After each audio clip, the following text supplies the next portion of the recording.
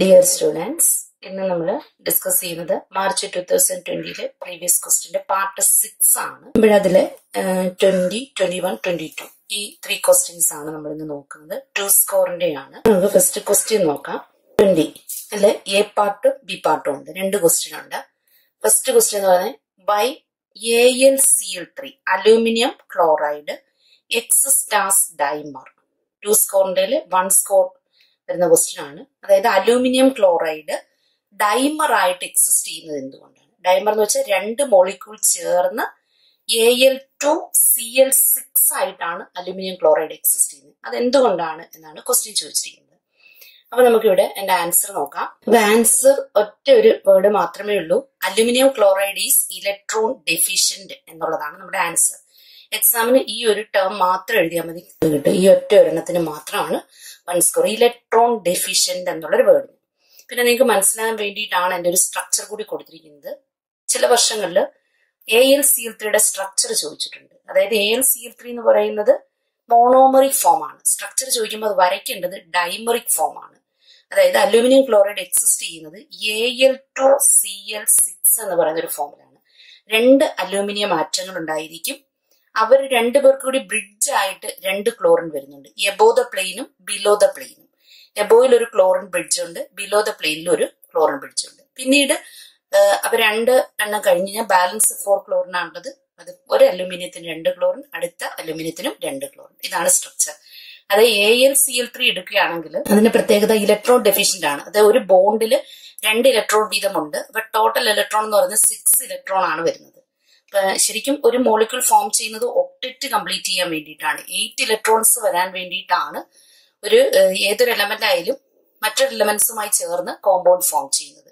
അപ്പൊ ഇവിടെ ഒക്ടെറ്റ് കംപ്ലീറ്റ് ചെയ്തിട്ടില്ല. അപ്പൊ ഇത് ഡൈമറിക് ഫോമിൽ എക്സിസ്റ്റ് ചെയ്യുമ്പോഴാണ് അത് സ്റ്റേബിൾ ആയിട്ട് മാറുന്നത്. അപ്പൊ ഡൈമറിക് ഫോമിൽ എക്സിസ്റ്റ് ചെയ്യുന്നതോട് സ്റ്റേബിൾ ആകുന്നത് കൊണ്ടാണ് ഇത് A L C L three dimer ആയിട്ട് മാറുന്നത്. A L two C L six ആയിട്ട്. Right the basic structure unit of silicones and silicates ഇത് കഴിഞ്ഞൊരു വീഡിയോയിൽ ചെയ്തതാണ്. അപ്പൊ ഇവിടെ ജസ്റ്റ് സിലിക്കോൺസിനെയും സിലിക്കേറ്റ്സിനെയും സ്ട്രക്ചർ മാത്രമേ എഴുതുള്ളൂ. Basic structural unit basic unit ആണ് നമ്മളിവിടെ കൺസിഡർ ചെയ്യുന്നത്. ബേസിക് യൂണിറ്റ് മാത്രം എഴുതുക.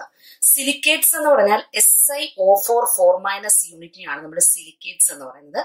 അപ്പൊ ഇത് ഒരു മോണോമറിക് യൂണിറ്റ് ആണ്. ഇത് രണ്ടെണ്ണം ചേർന്ന് ഡൈമറിക് ഫോംസ് അതുപോലെ പോളിമറിക് ഫോംസിലൊക്കെ എക്സിസ് പോളിമറിക് ഫോമിലൊക്കെ എക്സിസ്റ്റ് ചെയ്യുന്നുണ്ട്. S I O four four minus unit that is silicate ഇത് ഇതുപോലെ തന്നെ പഠിക്കണം. പല വർഷങ്ങളിൽ ക്വസ്റ്റ്യൻ ആയിട്ട് ചോദിച്ചിട്ടുള്ളതാണ്. പിന്നെ സിലിക്കോൺസ് എന്ന് പറയുമ്പോഴത്തേക്ക് രണ്ട് ആൽക്കൈൽ ഗ്രൂപ്പ് വരും. ഡൈ ആൽക്കൈൽ സിലിക്കൺ ഓക്സൈഡ് ആണ്. ദാറ്റ് ഈസ് ഒരു സിലിക്കൺ എടുക്കുക. സിലിക്കന്റെ ഫോർ ബോൺസ് ഉണ്ട്. ആ ഫോർ ബോൺസിൽ രണ്ട് ബോണ്ട് ആർ ഗ്രൂപ്പ് സാറ്റിസ്ഫൈ ചെയ്യുന്നു. ബാക്കി ശരിക്കും പറഞ്ഞാൽ ഓക്സിജൻ ആണ് വരേണ്ടത് അപ്പൊ ഇത് എൻ ടൈംസ് പോകുന്ന ഒരു പോളിമറിക് മോളിക്യൂൾസ് ആണ്. അതിന്റെ ഒരു ബേസിക് യൂണിറ്റ് മാത്രമാണ് ഈ കാണിച്ചിരിക്കുന്നത്. That is basic structural unit of silicones എന്നാ പറഞ്ഞേക്കുന്നത്. ഇത് എൻ ടൈംസ് പോകുമ്പോഴാണ് നമുക്ക് സിലിക്കോൺസ് കിട്ടുന്നത്. അതിന്റെ ബേസിക് യൂണിറ്റ് എന്ന് പറഞ്ഞാൽ R two S I O that is R two S I O ഇത്രയും മാത്രം വരുന്നതാണ് സിലിക്കോൺസിന്റെ ബേസിക് സ്ട്രക്ചറൽ യൂണിറ്റ് അടുത്ത ക്വസ്റ്റ്യൻ എന്ന് പറയുന്നത് ഇരുപത്തി ഒന്നാമത്തെ ക്വസ്റ്റ്യൻ ആണ്. Give the complete and bond line structure of pent four en two ol എന്നാണ് ക്വസ്റ്റ്യൻ ചോദിച്ചിരിക്കുന്നത്. അതായത് ഓർഗാനിക് കെമിസ്ട്രിയുടെ പാർട്ടിൽ നിന്ന് വരുന്ന ഒരു ക്വസ്റ്റ്യൻ ആണ്. ഈ ഒരു കോമ്പൗണ്ടിന്റെ ബോണ്ട് ലൈൻ സ്ട്രക്ചർ വരയ്ക്കുക. അതായത് give the complete and bond line structure of pen four en two ol അതായത് പെൻ എന്ന് പറയുമ്പോൾ അഞ്ച് കാർബൺ ഉണ്ട്. ഫോർത്ത് പൊസിഷനിൽ ഒരു ഈൻ ഉണ്ട് ഡബിൾ ബോണ്ട് ഉണ്ട്. സെക്കൻഡ് പൊസിഷനിൽ ഒരു ഓൾ ഉണ്ട്.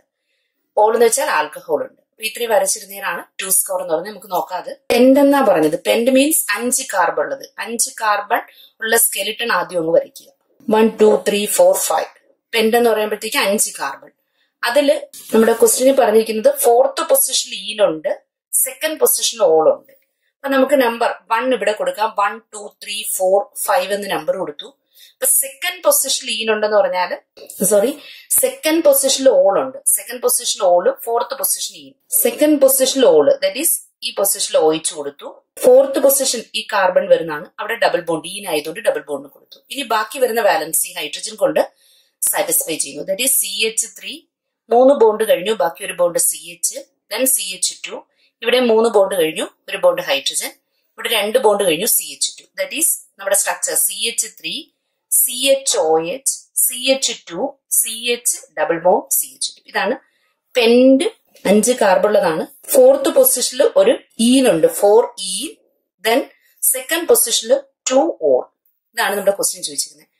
Pent four e two ol എന്ന് പറയുന്നത് ഇനി ഇതിന്റെ ബോണ്ട് ലൈൻ റെപ്രസെന്റേഷൻ കൂടെ ചോദിച്ചിട്ടുണ്ട്. ബോണ്ട് ആയിട്ട് വരയ്ക്കുക. ബോണ്ട് ലൈൻ റെപ്രസെന്റേഷൻ ബോണ്ട് വെച്ചുകൊണ്ട് വരയ്ക്കുക. അതിന് വരച്ചിരിക്കുന്നതാണ് ഈ സ്ട്രക്ചർ കാണിച്ചിരിക്കുന്നത്. അഞ്ച് കാർബൺ ഉള്ളതിന് വരയ്ക്കുന്നതാണ് നമ്മൾ ഒരു കാർബൺ ഇവിടെ വരും. അടുത്ത carbon second carbon then third carbon fourth carbon ഇവിടെ വരുന്ന ഫിഫ്ത്ത് കാർബൺ ഇങ്ങനെ വരയ്ക്കുക അഞ്ച് കാർബൺ ഉള്ളതിന്റെ ബോൺ ലൈൻ റെപ്രസെന്റേഷൻ അതിൽ സെക്കൻഡ് പൊസിഷനിൽ സെക്കൻഡ് കാർബണിൽ ഒ എച്ച് കൊടുത്തിരിക്കുന്നു. ബോണ്ട് വരച്ച് ഒ എച്ച് വരച്ചിരിക്കുന്നു.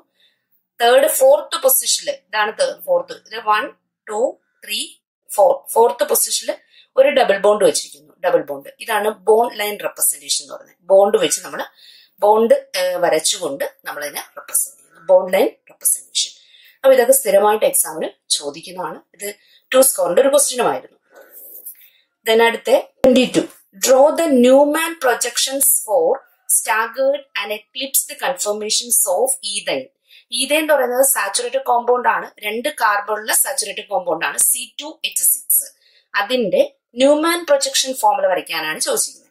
പരീക്ഷയ്ക്ക് ന്യൂമാൻ പ്രൊജക്ഷൻ ഫോമുലയും സോഹോസ് ഫോമുലയും ഒക്കെ ചോദിക്കാറുണ്ട്. അപ്പൊ ഇവിടെ നമുക്ക് ന്യൂമാൻ പ്രൊജക്ഷൻ ഫോമുല നോക്കാം. അത് സ്റ്റാഗേർഡ് ഫോമിലുള്ളത് നോക്കണം. എക്ലിപ്സ്ഡ് ഫോമിലുള്ളത് അതായത് ഏത് തന്നെയാണെങ്കിലും നമ്മൾ ഓർക്കേണ്ട ഒരു പോയിന്റ് കൂടെ ഉണ്ട്. ഇതിൽ ഏതാണ് സ്റ്റേബിൾ എന്ന് പരീക്ഷയ്ക്ക് ചോദിക്കാറുണ്ട്. അപ്പൊ സ്റ്റാഗേർഡ് ഫോം ആണ് more stable than eclipsed form അതും കൂടെ പഠിച്ചു വെച്ചേക്കണം. അപ്പൊ നമുക്ക് രണ്ട് കാർബണുള്ള സാച്ചുറേറ്റഡ് ഹൈഡ്രോ കാർബണിന്റെ ന്യൂമാൻ പ്രൊജക്ഷൻ ഫോമുല വരയ്ക്കാം.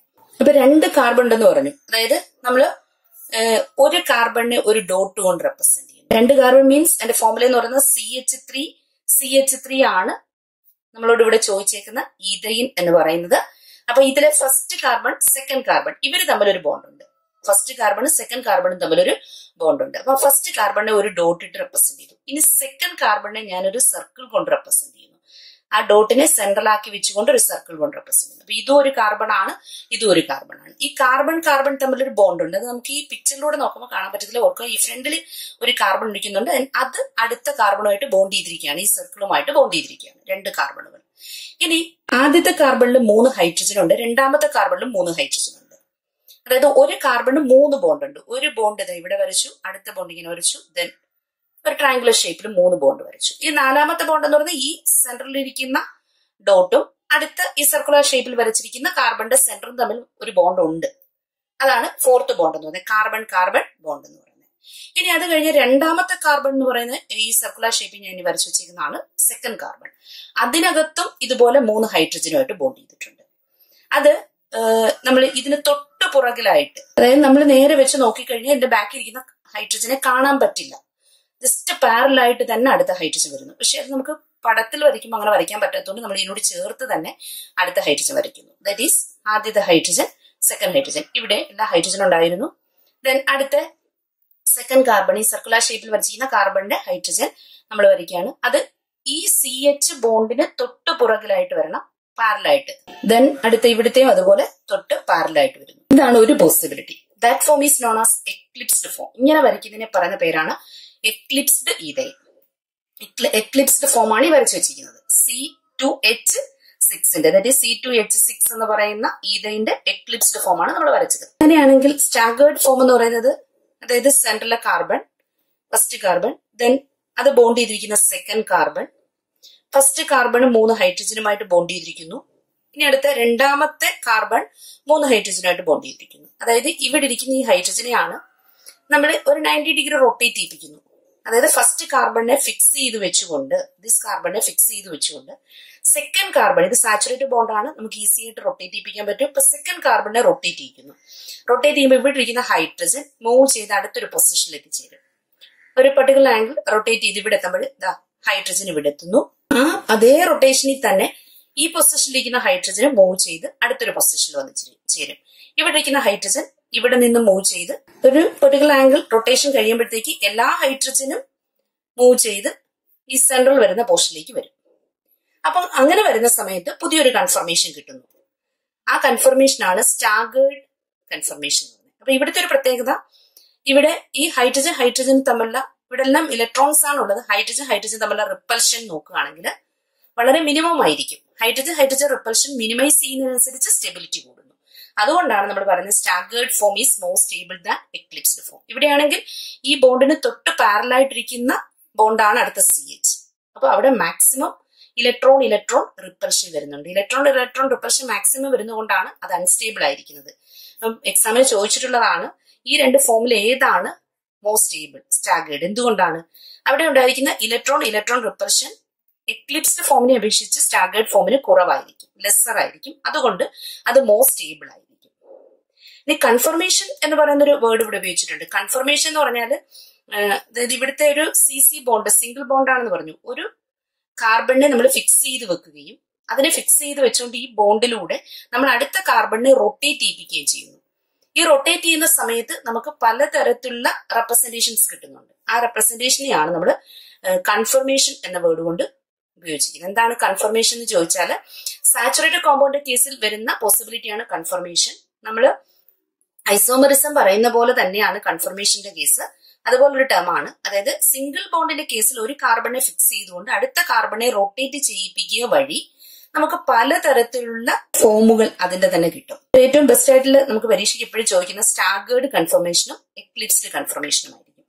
അവിടെ ഇവിടെ ന്യൂമാൻ പ്രൊജക്ഷൻ ഫോർമുല വെച്ചുകൊണ്ടുള്ള റെപ്രസെന്റേഷൻ ആണ് ഈ കാണിച്ചിരിക്കുന്നത്.